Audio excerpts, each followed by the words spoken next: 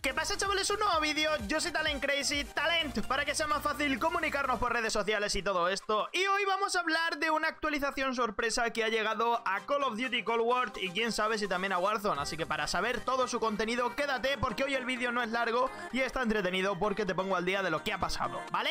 En definitiva, let's go, gente, vámonos En fin, lo que nos tenemos que, no sé, quedar claro por lo menos es situarnos en el canal de Charlie Intel, ya sabéis, el medio oficial por el que salen todas las noticias básicamente de manera rápida y tal. Y bueno, lo último que hablamos fue el anuncio de que los zombies iban a dejar la zona del naufragio del barco, se iban a esparcir por todo el mapa. Y eso dio pie a hablar del modo liga y todas las cositas, ¿vale?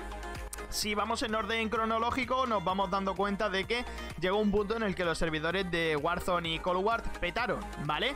Y por si no lo sabes, este petamiento fue debido en parte a que un streamer no se le ocurrió otra cosa que juntar a las 150 suscriptores y colocar todos los coches del mapa en un mismo sitio y que los 150 suscriptores, jugadores, lanzasen un ataque aéreo de precisión en ese punto, con lo cual hubo una mega explosión dentro del mapa de Verdansk y afectó de manera que se cerró esa partida y a parte de los servidores, porque es como que lo tienen programado raro y es como que se sobresaturó todo y es como cuando en un mapa de Minecraft metes 100.000 TNTs, pues llega un punto en el que tu ordenador ya no procesa tanto y, y, peta, ¿no? Pues esto es lo mismo, pero con servidores.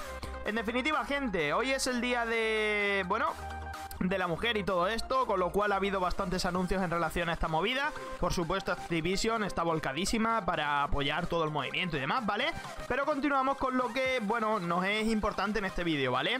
Que es el hecho de que han metido los desafíos o van a meter los desafíos pronto del día de San Patricio, ¿vale? El trébol, ¿de acuerdo? Estos emoticonos verdosos y movidas guay que hay por ahí, ¿no? Que, bueno, es como que hay enanitos y yo qué sé, es como gnomos o... No sé, tío, el caso, que es una festividad que a mí personalmente me encanta verla en Call of Duty porque es mitiquísima, ¿vale? Siempre tiene que haber un poquito de esto porque es como muy americano, tío, no sé, es como que aquí en España esto no se le da ningún tipo de importancia o por lo menos en la zona donde yo vivo, ¿vale? Pero que, eh, sin embargo, pues funciona bastante bien en el extranjero, ¿vale? Con lo cual, bienvenido sea el día de San Patricio, ¿ok? En fin, no sé exactamente cuándo va a salir esto, porque ya sabéis que estas movidas, pues bueno, pues que yo que sé, que salen cuando un poco le, da la gana, ¿vale? Pero bueno, dice que está prevista para el día 11 de marzo. Y eh, ya veremos, ya veremos, porque el día 11 de marzo eh, en teoría se cumple un año del lanzamiento de Warzone y pueden pasar bastantes cositas, ¿vale? En definitiva, gente, vamos a continuar ahora porque han metido un pack maravilloso dentro del juego que es este de aquí, ¿vale? Es un bundle de proyecto de estos chulos, chulos, chulos, chulísimos y bueno, como estáis viendo, pues es una especie de cosita rara, ¿vale? Pero bueno, en definitiva, tú dirás, eh, estas cositas tienen mucha información, ¿no? Hay muchas fechas que vosotros no las estáis viendo porque las tapa mi cabeza, ¿vale? Aquí, justamente, ¿vale? Pero bueno, ahora ya sí sale traducido abajo. Dice, nuevos paquetes en la tienda para Black Ops Cold War y Warzone, ¿vale? Dice, el día 11 de marzo saldrá herramienta de guerra, War Tool o Tool of War, no sé exactamente cómo lo habrán llamado. El día 14 de marzo sale La Maldición de Montezuma, paquete Mastercraft, ¿vale? Y luego el día 16 de marzo sale Tracer Pack Lucky, paquete temático del día de San Patricio, ¿vale? El 16 de marzo. Es raro, ¿vale? Porque si antes te he dicho que la actualización del día de San Patricio es para el día 11, hasta el día 16, prácticamente una semana después, no va a salir este, este no, un pack relacionado con el día de San Patricio, que bueno, me imagino que al poner aquí Tracer Pack es que va a lanzar las balas, ¿vale? Y la munición pues va a tener este destello de color y me imagino que será blanco y verde o 100% verde, porque a fin de cuentas, pues eso, pues el día de San Patricio es lo que vale, rollo, pues, pues, verde, ¿vale? En fin, enanitos de, bosque, de bosques y, y, movidas por el estilo, ¿vale? Súper simpático todo. Pero bueno, gente, ahora ya sí, vámonos 100%, me aseguro de que no haya nada nuevo por aquí, ¿no? Vámonos 100% con las notas del parche, ¿de acuerdo? Que básicamente son las siguientes. Está 100% pensado para Cold War, con lo cual, bueno, puede ser que algo termine afectando a Warzone, ya sabéis que las actualizaciones no siempre son unilateral. Es cierto que no comparten aplicación, lo que es Cold War y Warzone. Están separadas, de hecho Warzone sigue con Modern Warfare por ahora. Pero siempre que tocas algo en una, repercute en la otra. Porque a fin de cuentas las armas son compartidas y hay un montón de cosméticos compartidos y tal, ¿vale? Descubramos qué es lo que tiene el parche. En fin, dice que han sacado pues esto, una configuración para el juego y todo ahí genial y estupendo, ¿vale? Para Cold War, para todas las plataformas el día 8 de marzo, es decir, hoy, ¿vale?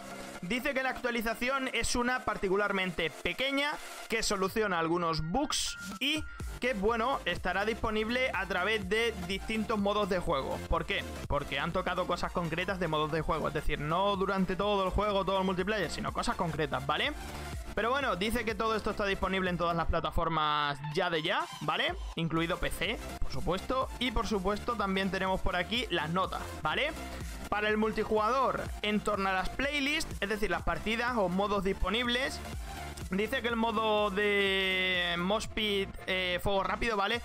Dice que han... O sea, el modo este en el que entras y hay como una especie de modos que están dentro y que están disponibles, ¿vale? Tú picas, entras y es aleatorio, no sabes cuál te van a meter, ¿vale? Pues bueno, han añadido el tema de hardcore, eh, hard yo qué sé, tío, el HC, es que no sé, la traducción es malísima, ¿vale? Pero bueno, el caso, que, bueno, que han metido un modo de juego nuevo ahí, ¿vale? En fin, en torno a desafíos tenemos los desafíos semanales, o perdón, de la temporada, que básicamente el que habla de guerrilla warfare, básicamente que no funcionaba, ¿vale? Dice que no pillaba las eliminaciones cuando debía, con las armas concretas, ¿vale? Con lo cual, pues, oye, está bien que lo toquen porque faltaría más, ¿no? Que compras el pase de batalla y los desafíos no funcionan y te vas a quedar con algo a medias, no consigues la recompensa etcétera, etcétera, etcétera, ¿vale? Así que está bien que se paren de vez en cuando a solucionar este tipo de problemas porque para eso pagamos, ¿vale? En fin, en torno a los desafíos diarios dicen que el de mano de ayuda o mano que te echa una ayuda, ¿vale? Dice que, bueno, que ahora parece ser que traquea bien lo que es el tema de, de las asistencias con el avión de espía, ¿vale? En definitiva, nos vamos a otro modo, que es el modo liga, el modo competitivo donde dice que los jugadores estaban siendo metidos en un rango en el que no les, no, no les iba, ¿vale? Es como que tienen muchos niveles y de repente lo meten en uno de atrás. Un poco raro, ¿vale? El caso es que dicen que este error ya ha sido solucionado y que deberían de clasificarte o meterte en el grupo donde te pertenece, ¿vale? Por último, dice que se han dado cuenta de que hay un error con el nombre de que a veces aparecía en blanco, el nombre de la liga, ¿vale? Del grupo. Así que se supone que, bueno, que no sé, que lo han solucionado. En definitiva, nos vamos con los zombies, ¿vale? Estamos acabando ya. En el modo Outbreak, ¿vale? Que básicamente es el modo nuevo, ¿vale? El de los zombies este con el mapa gigante. Dice que han añadido diferentes arreglos de estabilidad porque petardeaba cosa mala en consolas. Así que se supone que ahora irá un poquito más fino. Si has tenido algún tipo de cuelgue o lo que sea con Outbreak, que sepas que ya te debería de funcionar bien.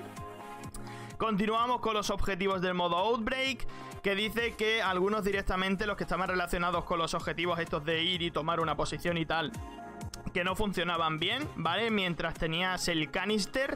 Mmm, canister en la izquierda, no sé, bro, qué tipo de canister, no sé la traducción, pero bueno, el caso que se estaba jugando en cooperativo con esta con este cachivache y los objetivos estos de ir y proteger una zona y tal, no te contaban, ahora te deberían de contar porque dices que están resueltos estos problemas, pero bueno, en general que es básicamente Outbreak a modo general, no pensáis que es otra movida.